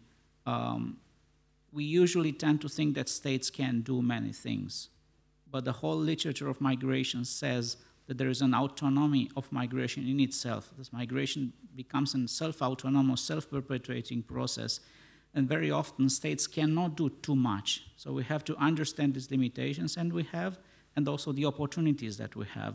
And combining both of them, we can go on a little bit farther. And also was a discussion about the brain drain. You also experience, but some people are going abroad and they return. Sometimes the return of these people may be more important than the, the, the migration of 20 others, you know. So we don't always have to think in, in big categories, yeah. black and white. The, the, the reality is much more diverse. And there is another one point. The positive effects of migration don't come today or tomorrow. They can come in two, three, four years' time, right? uh, we don't have to rush it. We have also to let also these processes settle a little bit and then to, to see how we can tap into it and what to do with it. Mm -hmm. Right? We cannot force because if we force them, we, we come with something artificially sometimes. Mm -hmm. So we have to let this genuine interest for the country, the genuine interest and relationship to parents, to friends, to, to the places we've been, to grow, to grow old, and then also to act accordingly. So mm -hmm. that would That's actually, I don't know if this answers the question, you know, but I like to tell stories to get the point across. A chap recently spoke to me about how a government can help diaspora engagement, and he's a member of the diaspora. And he said they can do two things give us attention and give us an ear. And he said the second part is to make sure that the engagement reflects the reality of our community. That's free. That costs you nothing. Right? And if you look at trends within migration as well, for example, we haven't mentioned it so far, but particularly in vulnerability, familial re reunification through migration. Gender is incredibly important in this. Mm. Figuring out, you know, issues of vulnerability and successful gender diaspora is really important. You know, and that's something we're working on in Ireland actively. You know, I want to pick up, I don't know if I mentioned at the beginning, what the board I sit on is the future of work and women. We have enough men in leadership positions. We need more women, right? So those, keep that as your pillar, attention and an ear, and also make sure that the engagement reflects the reality of the community. Mm -hmm. May I just also add something? Yeah. I think, going back to your question, I think it really depends how willing the governments are to actually attract people back home. Because at the moment, I actually don't see any government in the region that is really, really trying very hard to, to, to bring back people home. As you said, trust is a main issue, and trust is, is definitely missing because these people feel um, very much frustrated with the country. They feel unjust. They feel uh, the things that are happening, they simply don't want to tolerate them because the, why would they? If they're young and smart and skilled, why would they actually choose to come back in a country that doesn't really provide for that? So I think in order to, to, to actually do that, in order to, to make return possible, even in circular migration, we have to open up a very sincere and very, very um, open debate and actually make a commitment that we want to improve things on the ground. One thing that hasn't been mentioned, and I think it's, a, it's, a, it's super important, is Celtic Tiger. I mean, economic mm miracle that Ireland experienced brought people back, but not only Irish people. Mm. If I remember correctly, only last year you had a small surplus of, of citizens coming back. Yeah, it's yeah. not about Irish coming back, it's about attracting talents, people from everywhere. And in order for that to happen, they will always think, choosing between the two. Do I go into, into a country? that cannot offer me uh, safe and just processes in judiciary that can that, that where that, do i have to fight administration if i want to set up a business do i uh, enjoy all my religious and, and, and all other rights if the answers are no you will not attract any talents simple as that mm -hmm. there, there, there's an old joke in ireland that somebody shot the tiger he's, he's, limping down the main street. Remus, you also wanted to comment on yeah, this. I wanted to tap on, on, mm-hmm. on Martin's comment on gender. Uh, there was a very good research on Romania on uh, women returnees. And one of their main problems returning back to Romania is that they experience in the West more egalitarian gender relations. While returning to Romania, they have to fall back with them same patriarchal relations.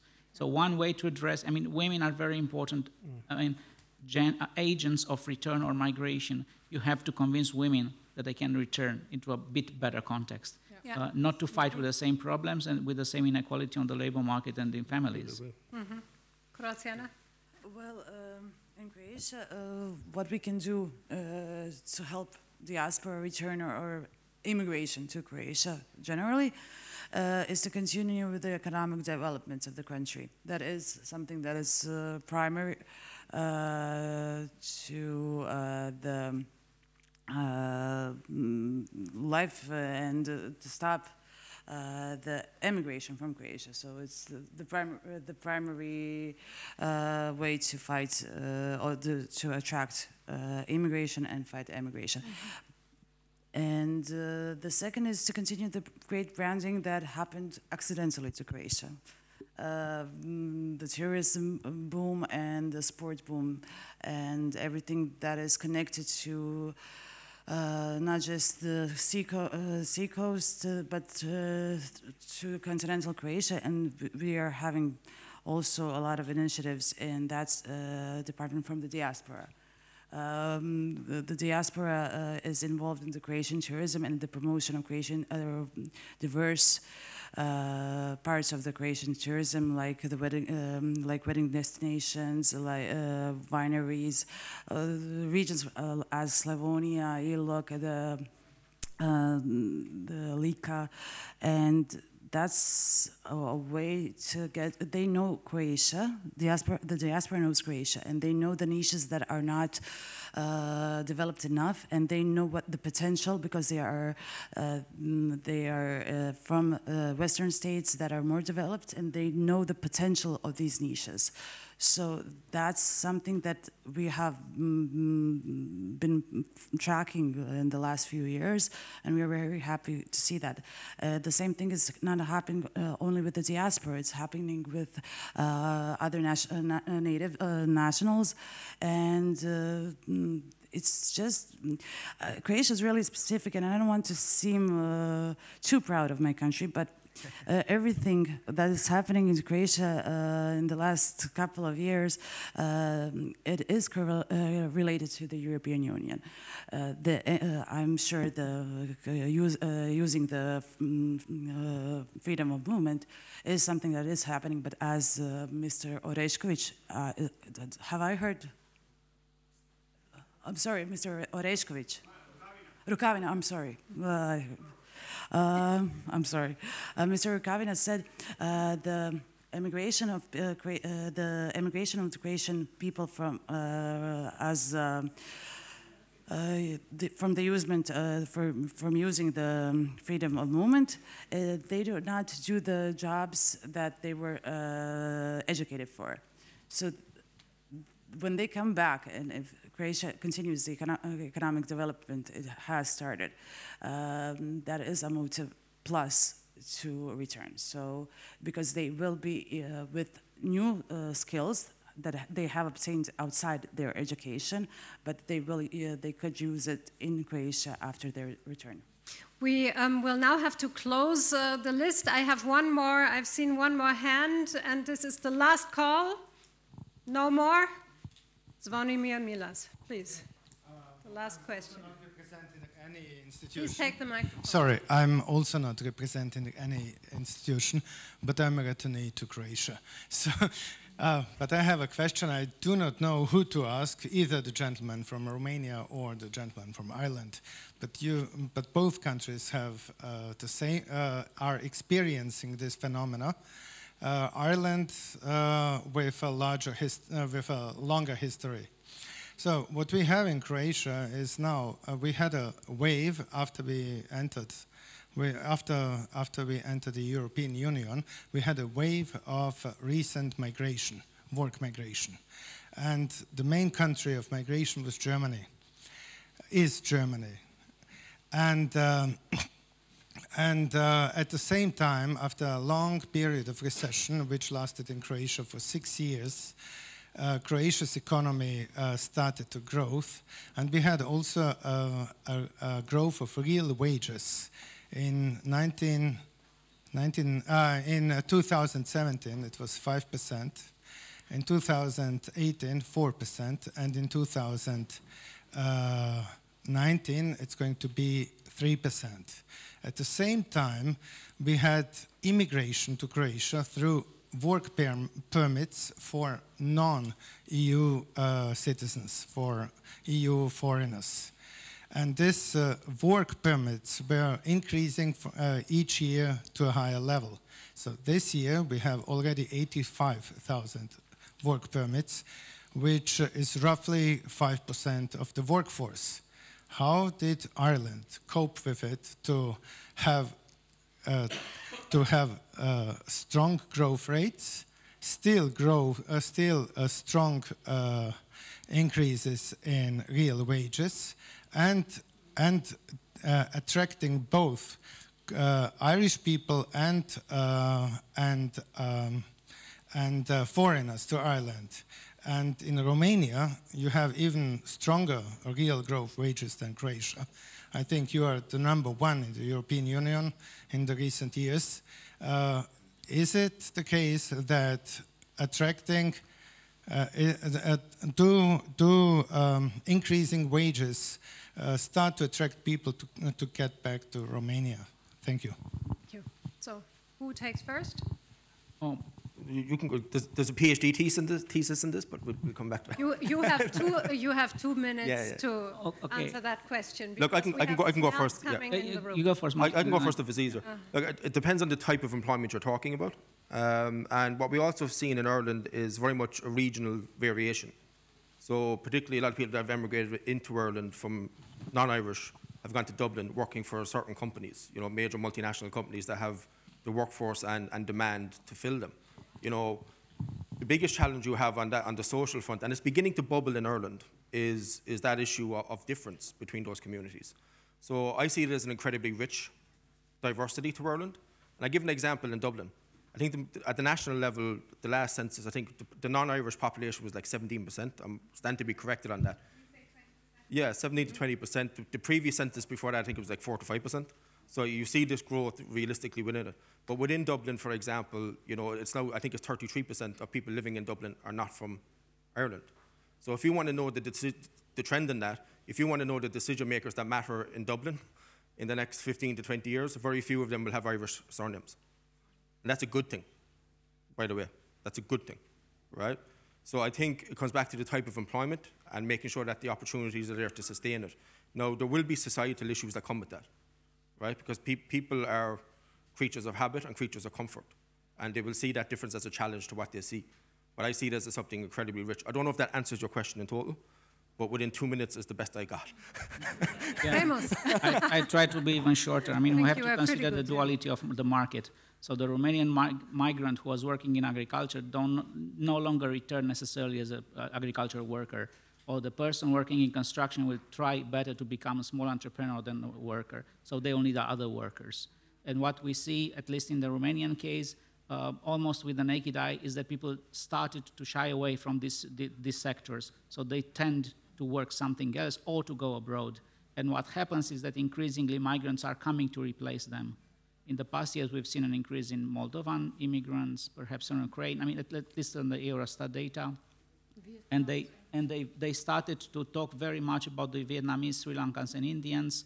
And um, the whole field is starting to professionalize a little bit with NGOs trying to organize them, with small manpower companies, and so on. So I think that both processes will coexist because of the dualization of the labor markets going on in the region. Mm -hmm. If I just may add, there is a danger. Very short, you just very super short, uh, mm -hmm. because it, it, triggered me that, that you said, and I, I, have found also data on Vietnamese coming to Romania. There, are. there is a bilateral agreement currently with Romania. 3,000 people from Vietnam are coming. 30,000. 30,000. 30,000. 30,000, yeah. even, okay. Wow, okay, so um, the point there is, I think there is a there is a, a bit of a moral question, if you will, because R Romanians that are not happy with 400 euros salary or 300 euros salary are leaving the country while Vietnamese are being brought in that will work for 250 in or 300. Now in construction, in construction, Now, now in construction, you you are obliged to give a minimum salary of 650. Okay. According last last Re year, regardless of where they come. regardless where they come okay. from. Okay. So this is a minimum, and they have to offer the minimum. And they do. They have to do. Okay. Okay. Ladies and gentlemen, first I would like to give a big hand of applause to this panel.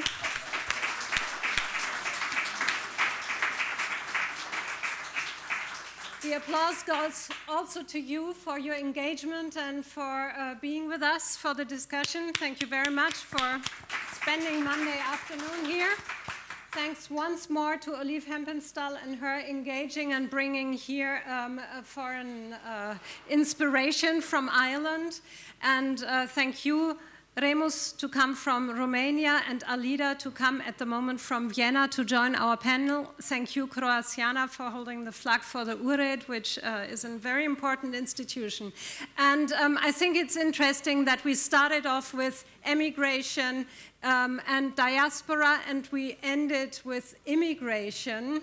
And um, tomorrow we will deepen the debate at the conference to which you are all very warmly invited. You will find the programs outside. Take a program, pop in at the debate because this is heavy impact of research um, on, on the issue. And now I may invite you in the name of the co-organizers and the Adenauer Foundation to join us for um, a small Domjenak. Thank you very much. Thank you.